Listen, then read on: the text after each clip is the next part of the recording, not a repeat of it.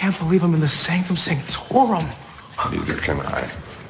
So, how did you know you were made of magic? Because my, my nana says that we have it in our family, and sometimes I get these tinglings in my hands. You should talk to your physician.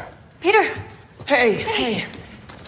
hey. I'm so sorry for dragging you in this. Listen, you just gotta help me find these You, guys. you, you don't have to apologize, okay? You got us a second shot at MIT.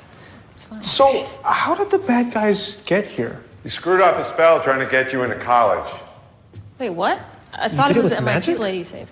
Uh, no, that was after. Listen, let's just focus on the good news, okay? No, let's just focus on the bad news. As of now, you have detected zero multiversal trespassers. So get on your phones, scour the internet, and Scooby-Doo this.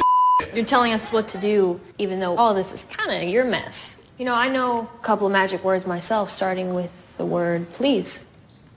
Please, Scooby-Doo this.